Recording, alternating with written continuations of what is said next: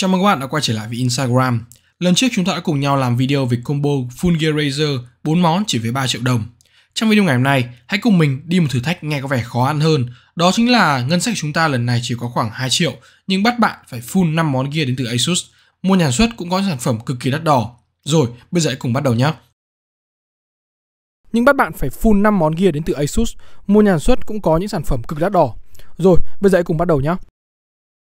Tất nhiên thì với mức ngân sách khoảng tầm 2 triệu như thế này, rất khó để bạn có thể chơi full combo ROG hay là dòng cao cấp của Asus. Vì vậy, chúng ta sẽ lựa chọn sang dòng Tough, mua dòng sản phẩm với tiêu chí ngon, bổ, đẹp, bền và đặc biệt là rẻ của hãng này. Hãy bắt đầu với chuột. Có lẽ không lựa chọn nào khác phù hợp hơn, ngoài con chuột cũng đang làm mưa làm gió trên phân khúc chuột giá rẻ và chuột cho game net, đó chính là Asus Tough M3. Đây là một phân khúc cực kỳ cạnh tranh với các dòng sản phẩm như Logitech G102, Corsair Harpoon, Razer DA Essential và còn chưa kể đến rất nhiều sản phẩm tới từ Trung Quốc khác. Nhưng Tough M3 vẫn có một chỗ đứng nhất định nhờ chất lượng hoàn thiện theo mình thấy là tốt nhất trong tầm giá này. Khi bạn cầm vào sản phẩm này, có thể thấy chất liệu hay lớp phủ của nó sử dụng hoàn toàn vượt trội hơn so với đối thủ còn lại trong phân khúc. Đặc biệt, nó còn được trang bị hệ thống LED RGB ở logo. Mặc dù hơi tiếc là logo vẫn là logo Tough cũ, tuy nhiên mình nghĩ khó thể đòi hỏi hơn ở tầm giá này được. Đặc biệt là một sản phẩm giá rẻ nhưng nó vẫn được trang bị rất nhiều nút. Với hai nút tăng giảm DPI là nút riêng chứ không phải dạng một nút xoay vòng như những hãng khác.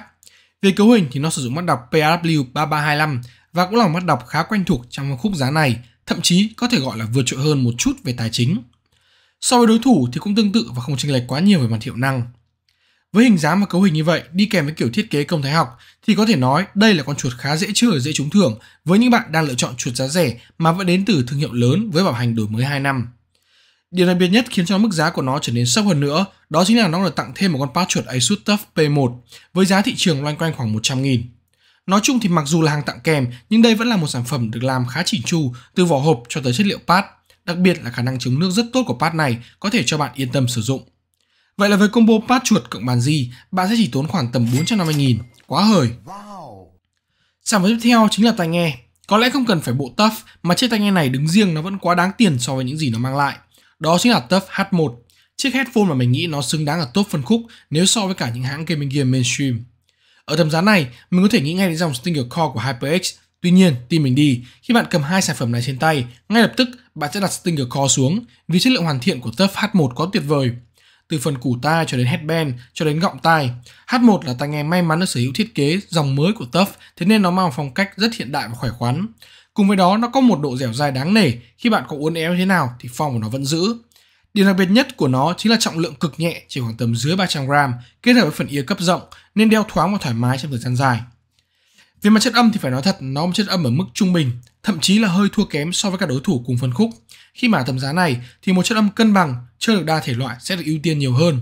Nhưng với con này thì bạn sẽ cảm thấy âm bass của nó hơi bị thiếu, đồng thời độ chi tiết của âm thanh sẽ bị thua thiệt khá nhiều so với cả những dòng tai nghe có mức giá cao hơn một chút.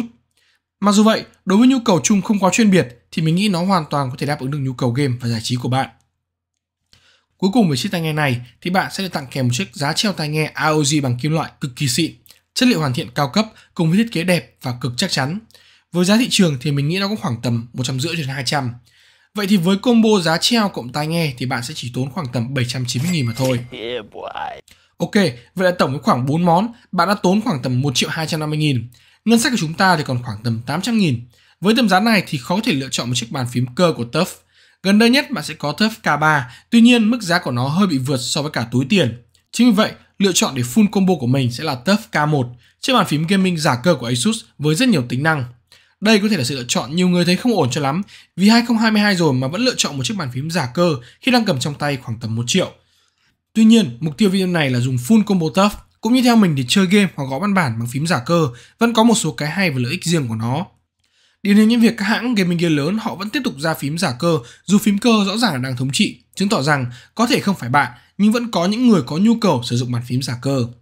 Với con K1 này, về cảm giác gõ thì theo mình đánh giá là ổn so với cả một con phím trong tầm giá này, đi kèm với cả tính năng như vậy. Cảm giác bấm của nó tương đối mềm và phát ra âm thanh nhỏ, phù hợp với những bạn chơi game ban đêm hoặc nhà có con nhỏ. Hãy cùng nghe thử âm thanh rất nhanh của nó nhé.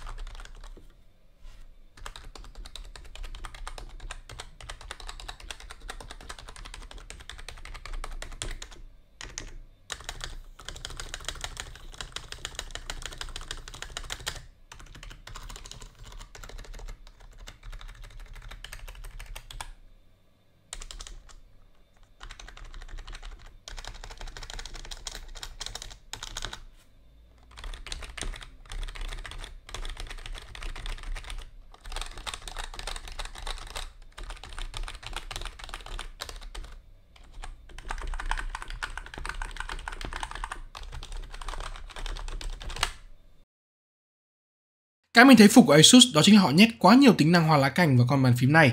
Khi bạn sẽ có một phần kê tay rộng và thoải mái, hai LED ở cạnh bên, LED RGB ở toàn bộ các phím và đặc biệt là một cuộn chỉnh volume rất to và nổi ở góc bên phải. Điều mà gần như khó kiếm ở trong tầm giá này đến từ các hãng lớn. Và cuối cùng là hai điểm quan trọng nhất, khả năng N-Key Rollover trên 19 phím trên một con phím giả cơ giúp bạn có thể chơi game với hiệu năng gần như tương tự so với cả phím cơ. Cùng với đó là khả năng điều khiển LED và macro thông qua phần mềm Asus Armory Create rất nhiều thứ như vậy nhưng với mức giá chỉ khoảng tầm 900 nghìn. Hoàn thiện bộ combo 5 món Asus Stuff dùng full hệ sinh thái với mức giá khoảng 2 triệu 150 nghìn. Hơi vượt quá so với cả ngân sách của chúng ta, khoảng tầm 140 nghìn. Vậy thì hãy ra lận một chút bằng cách đọc pass bạn ông Instagram để được giảm giá còn 1 triệu 990 nghìn. Vậy là thử thách của chúng ta đã hoàn thành. Rồi, đó chính là bộ combo Tough với mức giá dưới 2 triệu đồng mà chúng ta đã cùng nhau đi build ở trong video này. Vậy các bạn có thắc mắc hay muốn nói thêm gì về bộ combo này không? Đừng quên comment ở phía bên dưới, cũng như đừng quên bấm like, share và đăng ký kênh Instagram của mình đón xem video tiếp theo ở trên kênh. Và các bạn cũng đừng quên mua hàng tại nhà tài trợ techspay.vn với đường link mình để phần mô tả và phần bình luận video này để có mức giá cũng như mã giảm giá tốt nhất. Còn bây giờ, xin chào và hẹn gặp lại các bạn rất sớm thôi.